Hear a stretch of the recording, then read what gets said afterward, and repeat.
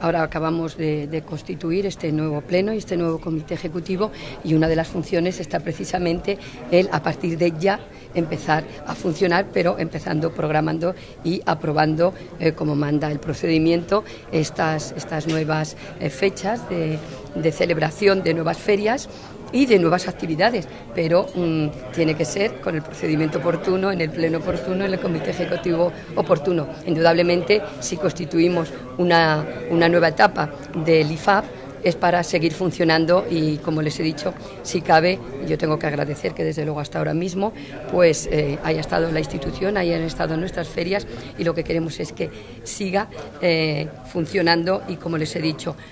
si cabe, con mayor fuerza y con mayor sacrificio, con mayor trabajo, porque los tiempos son muy difíciles, pero, como he dicho desde un primer momento, en, el progreso de quienes crean puestos de trabajo, en, la, en esta proyección de nuestra ciudad, en esta promoción de nuestra ciudad, en definitiva lo que se va a traducir, si todo esto funciona como queremos y esa es nuestra, nuestra responsabilidad y nuestra intención en este momento, se traducirá en puestos de trabajo para eh, Albacete y su provincia, que como saben ahora mismo pues estamos en unas, en unas mm, cifras lamentables para lo que eh, sería lo deseable para buen funcionamiento, porque miren ustedes, el pulso de una sociedad